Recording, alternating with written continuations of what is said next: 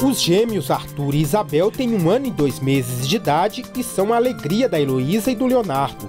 O casal sempre quis ter filhos e, depois de um longo período de espera pela gravidez por meio natural, a empresária fez um tratamento de fertilização e a tão sonhada gravidez só veio por meio de reprodução assistida. Eu tive um diagnóstico de endometriose profunda, não, tipo, não vai engravidar mesmo, mas você tem que acreditar. Um relatório da Agência Nacional de Vigilância Sanitária revela que vem aumentando o número de brasileiros que buscam ajuda médica na hora de ter filhos. Para fazer a reprodução assistida, o espermatozoide é inseminado no óvulo em laboratório, gerando um embrião.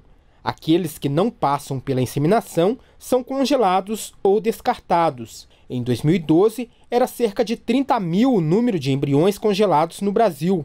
Em 2016, passou para mais de 66 mil, e só no ano passado, mais de 67 mil embriões foram transferidos para o útero das pacientes e cerca de 33 mil foram descartados. O cidadão que acessar esse relatório, ele vai ter informações sobre as clínicas e como que estão os padrões de qualidade, que são padrões de qualidade internacional, como é que esses padrões de qualidade estão, como é que a clínica está com relação a esse determinado padrão de qualidade.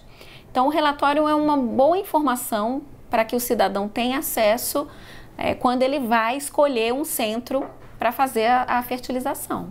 No Brasil, são 160 clínicas que fazem reprodução assistida. Na hora de escolher onde fazer o procedimento, é preciso saber se a clínica tem a licença sanitária para funcionar.